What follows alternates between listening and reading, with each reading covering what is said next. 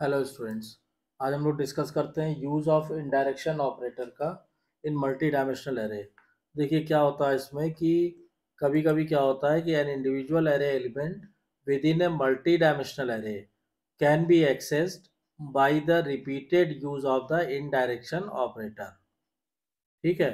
मतलब क्या हुआ कि कभी कभी क्या होता है कि कोई अगर इंडिविजुअल एरे एलिमेंट है जो मल्टी डायमेंशनल एरे के अंदर है, उसको हम एक्सेस कर सकते हैं by the repeated use of indirection operator हालाँकि ये कोई बहुत अच्छा मेथड नहीं है however this procedure is more awkward than the conventional method for accessing an array element लेकिन एटलीस्ट तब भी आपको ये आना चाहिए कि इनडायरेक्शन ऑपरेटर की मदद से कैसे हम इंडिविजुअल एरे एलिमेंट को मल्टी डायमेंशनल एरे में से एक्सेस कर सकते हैं, ठीक? तो इसको समझने के लिए आप क्या कर सकते हैं, इसको सिंपली आप ये लिख सकते हैं, यहाँ पहले तो आप लिख दीजिए टॉपिक आज का इन डायरेक्शन ऑपरेटर ठीक, अब इसको आप एक एग्ज़ाम्पल से समझेंगे तो आपको ज़्यादा आसानी से क्लियर हो जाएगा। इसमें मान लीजिए कि suppose x is a two dimensional integer array having ten rows and twenty column तो मान लीजिए एक्स कोई एक इंटीजर टाइप एरे है, जिसमें दस रो और बीस कॉलम है। तो the item in row two and column five can be access by अब मान लीजिए हमने क्या कहा कि हमने कहा एक्स कोई एरे है और कैसी है? इंटीजर टाइप और उसमें दस रो है और बीस कॉलम है। क्लियर अब मान लीजिए हमें इस एलिमेंट को एरे करना, हमें एक्सेस करना है। If we have to access element of row two and column five तो हम कैसे इसको एक्सेस करेंगे? या तो हम इस तरह लिख सकते हैं इसको कि एक्स टू लिख दिया हमने और फाइव लिख दिया। ये काम हो गया। या दूसरे तरीके से हम इसको कैसे लिख सकते हैं? दूसरे तरह से हम इसको ऐसे लिख सकते हैं। ये हमने लगाया पॉइंटर। ठीक है? फिर हमने यहाँ लिखा, फिर पॉइंटर लगाया, यहाँ लिखा x plus two plus five इस तरह से। ठीक? अब देखिए, ये वाला तो आपके लिए काफ़ी फैमिलियर है, आप, आपको समझ में आ गया होगा। ठीक? अब सेकेंड वाले को हम एक्सप्लेन करते हैं कि the second form require some explanation ठीक है क्या? First note that x plus two is a pointer to row two तो इसमें पहले तो आप ये समझिए कि जो एक्स प्लस टू है, ये एक पॉइंटर है। किसके लिए? रो टू के लिए। Therefore the object of this pointer यानी asterisk of x plus two refers to the entire row तो यानी जब हम इस तरह बात करेंगे एक्स प्लस टू, इसका मतलब ये पूरे रो टू की बात कर रहा है, ठीक? अब इसके बाद क्या होगा कि since row two is a one dimensional array star of x plus two is actually pointer to the first element in row two. तो ये एक्चुअली में क्या करेगा, चूँकि ये रो टू में क्या है, रो टू में कई एलिमेंट है, ठीक है एरे में इसी तरह होता है तो एक्चुअल में क्या होगा कि ये इसके पहले एलिमेंट का, इसका एड्रेस बताएगा। ठीक। अब उसके बाद हमें चाहिए कौन सा? हमें एक, दो, तीन, चार, पांचवा का चाहिए। तो हम क्या करेंगे? Star of x plus two तो पहले का एड्रेस का हो गया, फिर इसमें हम फाइव ऐड कर देंगे। ठीक तो ये हो गया आपका asterisk of x plus two plus five is a pointer to element five. तो अब ये इसका पॉइंटर हो गया, पांचवे एलिमेंट का।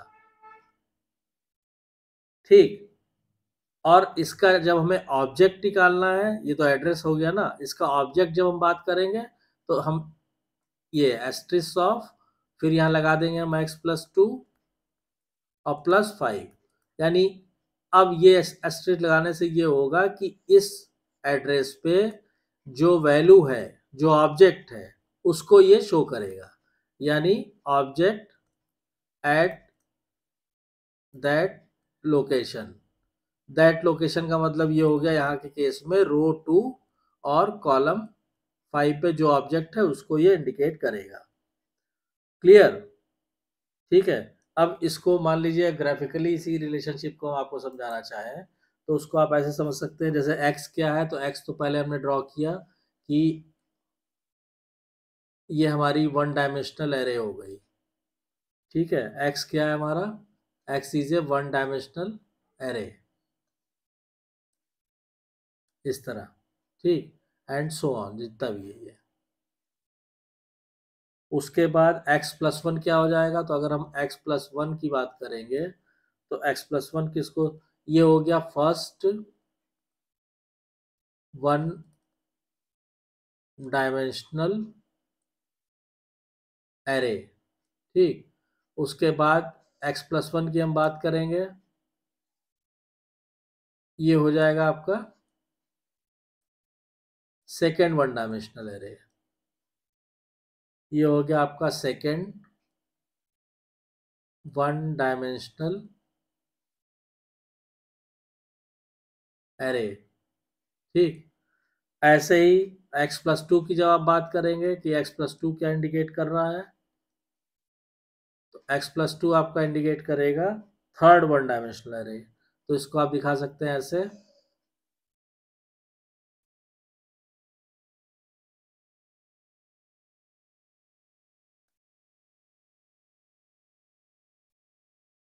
इस तरह से।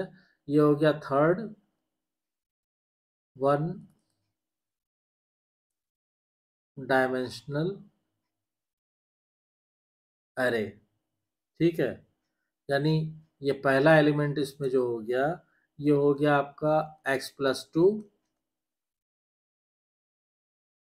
और एक, दो, तीन, चार, पाँच। ये हो गया आपका एक, दो, तीन, चार, पाँच। एक, दो, तीन, चार, पाँच। ये जो एलिमेंट हो गया आपका दिस वन ये एलिमेंट हो गया आपका, इसका ऑब्जेक्ट हम ऐसे लिख सकते हैं star of x plus two x plus two plus five इस तरह।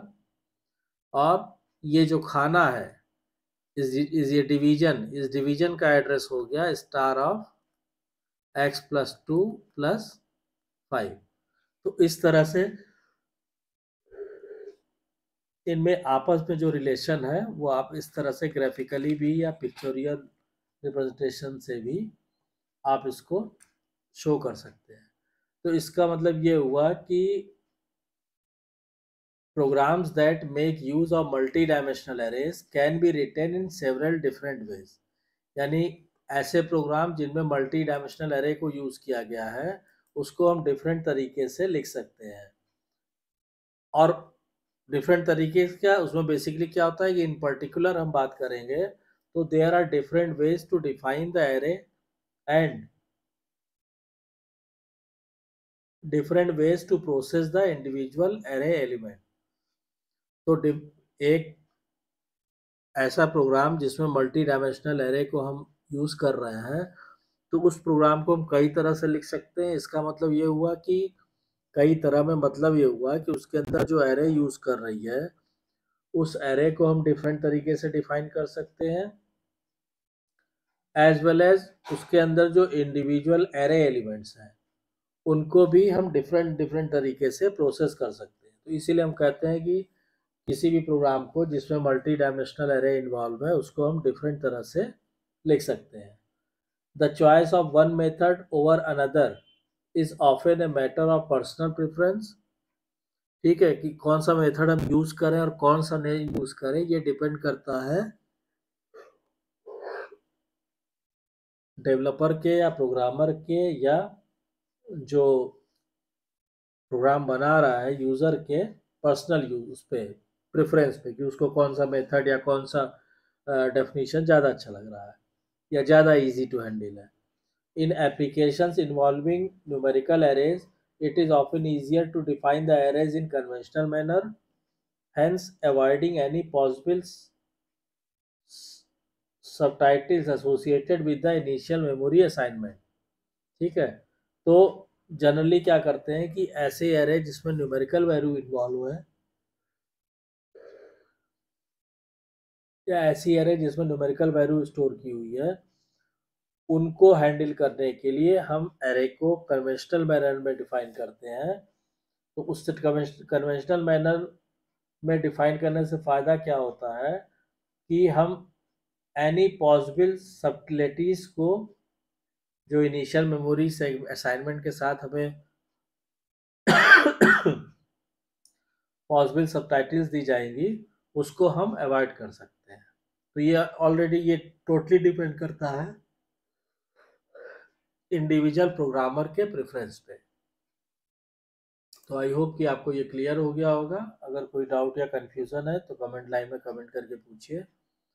और अगर कॉन्सेप्ट क्लियर हो रहा है तो वीडियो को शेयर कीजिए लाइक कीजिए चैनल को सब्सक्राइब कीजिए और नोटिफिकेशन बेल को ज़रूर ऑन कर दीजिए, ताकि नेक्स्ट वीडियो की इन्फॉर्मेशन आपको टाइम से मिल सके। Thank you